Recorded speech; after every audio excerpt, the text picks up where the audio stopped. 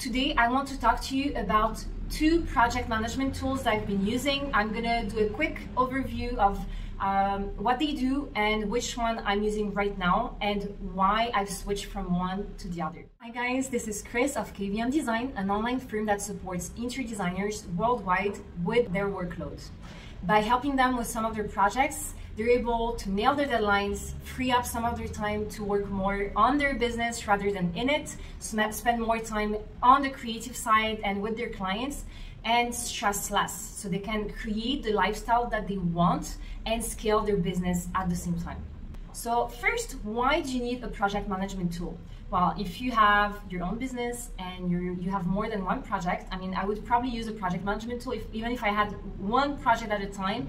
But I think it's especially true if you start having more than one project because you want uh, to understand your the workflow for this project or for those projects. You want to understand uh, what needs to be done and when and you want to get organized as soon as possible because when you start growing and you start having more projects, uh, you might want to hire someone to help you. And if you're not organized, if you don't have systems and processes and a project a project management tool that's uh, pretty you know straightforward, then it's going to be very hard for you to delegate.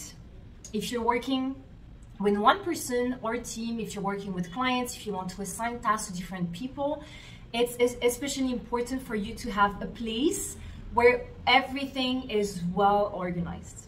So the two project management tools I want to talk to you about are ClickUp and Trello. Uh, I used both of them. I'm currently using ClickUp. I'm going to tell you why in a minute. We're going to switch over to the laptop and I'm going to show you a brief overview of what they do, what you can use them for, and why I decided to switch to ClickUp.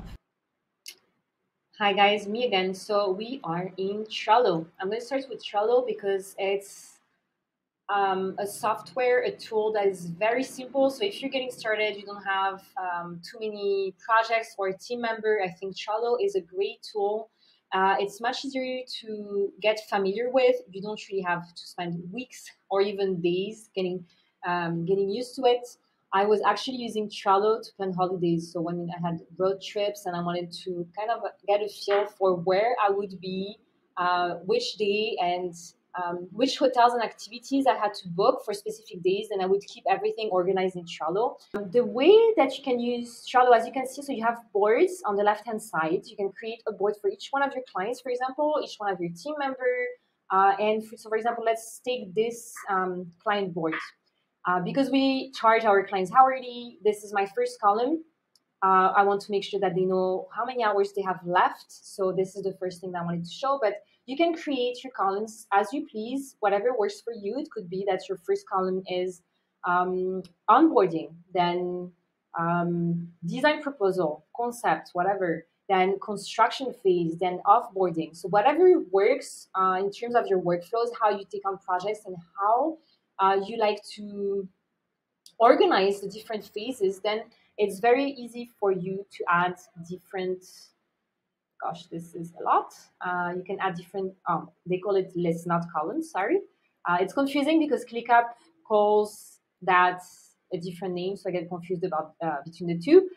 But anyway, so then I would share um, this dash this dashboard, this board with my client. So she was able to add cards with a new project.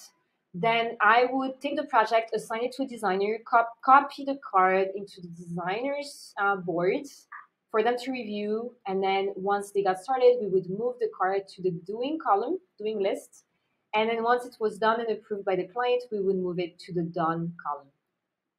So as you can see, it's very simple. It allows you to keep everything organized. The cool thing that I, I think as well is that when I was initially working with emails, it's just a lot. Like it's very hard to keep email organized. It's easy to miss an email. If you want to go back to a different um, if you want to go back to a project that you worked on for a client or if they want to go back to a project you work together it could be hundreds of emails for one project which is not the way to organize uh, yourself having one project per card made things easier because if the client needed to go back to it maybe um, so if they want to go back to this card that was for one project, they can go and review the information that they send. They can review any Google Drive or any type of attachments. And they can review all the communication for that one project. So very easy to go back and check what was done. I would say the thing that I didn't really enjoy about Trello is that it became very complicated very fast because I started getting more projects and I hired someone even to help me with the project management. And I had no way of getting a full overview of all the deadlines for a specific week for all the projects. Uh, if you see here, you can change the view to calendar view which is great to keep track on the tasks for this one client. But I had no calendar view to have a full review of the projects that were going on for all my clients. So I had to make sure that I was looking into all the boards I um, for each one of the clients, and then add uh, this card or this deadline to a calendar view, a different calendar view. It was absolutely a mess. The other thing that I didn't like that is that I had to copy the cards into my designers boards. And when the client added new comments, then I had to copy the new comment, the new feedback onto the designer's board. So it was a lot of things that I had to do manually, and I was wasting a lot of time. Uh, the other thing that started not working for me is that I wanted to delegate the project management and when you when you have to add a person to more than one board, you start paying more. And um, now I think I have maybe three, four people who have access to more than one board, and it was just ridiculous considering how um, simple Trello is. So Trello is very good if you have very simple workflows, if you don't work with a lot of people. Uh, it's a great tool to start with. Um, then let's move on to ClickUp, and I'm going to show you um, why I switched to ClickUp. I'm not going to do a full ClickUp overview right now, but I want to show you the, the few things that were different. As you can see, I have my lists, my boards. Uh, in ClickUp, it's called lists. Same thing as Trello.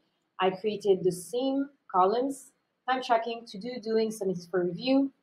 Um, when a client adds a card.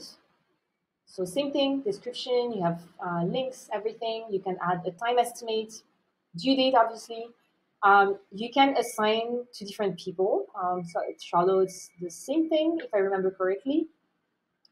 But the cool thing is, is that you can add the tasks to a different list. Uh, so I would always add the card to the designer who was going to be assigned the task. So it means that every um, comment, feedback, additional information the designer would receive in real time because they're effectively they're sharing the same cards. Uh, so this saved a lot of my time, a lot of my uh, operation manager, manager's time. Um, and the other amazing thing about ClickUp, so you have you can create different workspaces. Uh, I would say ClickUp is a little bit trickier in the sense that you have to spend more time understanding how you want to organize your business in ClickUp because you can do a lot more than just project management. So it takes a little bit of time to understand how it works. However, if you're coming from Trello, you will very quickly understand that you can um, use the same sequence, like here, the board view, uh, for your projects, but there's a lot more that you can do. So you know you can there, there are a lot a lot of videos, a lot of tutorials about how to use ClickUp. I myself will be doing a ClickUp series to show you how to do specific things. Um, but one of the things that I really like is so one of my workspaces is for my clients. So I have current clients, I have archived clients, the clients that don't work with us anymore. But the current clients, I have all my clients. If I click on each list individually, then it's the same thing. I can use the calendar view to see when projects are done for the specific client. However, if I click on the folder where all the lists for all my clients are located, I have all the information for all the projects, which means, let me show you for February. Here we go. So you can see that all the cards for all the projects of when they're due are in the calendar. So it's very easy for me or for uh, my operation manager to go into the general folder and see when all the tasks are due. It gives us a full overview rather than having to go manually into each card and understanding when projects are due for a specific client. Uh, so this is a pretty cool feature apart from the list. So I think that those are the two things that me switch. Obviously, there is a lot more to it uh, than those two things. I will be doing a series to show you how you can use ClickUp um, as an interior designer or actually for any type of business. I have been using it for the past year. I really recommend it. Um, so yes, uh, stay tuned for the next video. If you have any questions, please comment below. And um, yeah, if you enjoyed my videos, please subscribe, give it a like, uh, and I'll see you in the next video. Bye!